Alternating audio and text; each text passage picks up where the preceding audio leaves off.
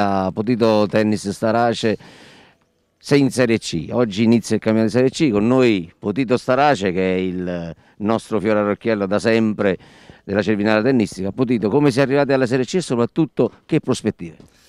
Boh, intanto oggi è un giorno importante per noi, comunque la prima della Serie C in casa, partiamo da lontano, partiamo dalla Serie D3, D2, D1, insomma dopo quattro anni siamo in Serie C e soprattutto siamo in Serie C con i nostri ragazzi che sono nati qui, e si sono allenati una vita sul circolo tennis Potito Starace, quindi per noi questo è un doppio traguardo.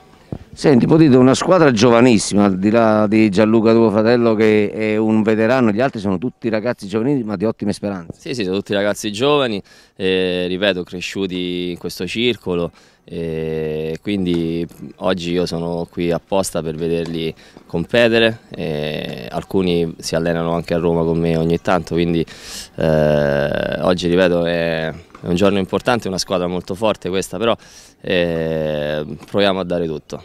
E, e, niente, poi se dovessimo rimanere in Serie C, eh, la, la, nostra speranza è, insomma, è rimanere qui, il prossimo anno ci sarò anche io.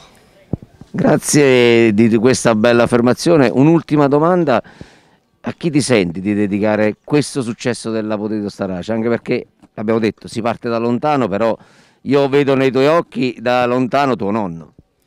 Beh, sicuramente mio nonno, eh, questo, tutto questo è grazie a mio nonno, ecco, eh, il circolo tennis Potito Starace non ha il mio nome, cioè il mio nome, ma è soprattutto per mio nonno perché è il creatore del circolo e anni fa c'erano solo questi due campi e tutto il resto era montagna, quindi eh, un grazie a mio nonno Potito e, e poi grazie a mio padre, a mio fratello che comunque lo gestiscono da tanti anni.